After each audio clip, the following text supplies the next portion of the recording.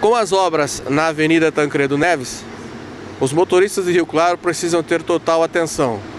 Para aqueles que utilizam a avenida para dirigir aos bairros, hoje, com a interdição, precisam utilizar o acesso pela Avenida 7.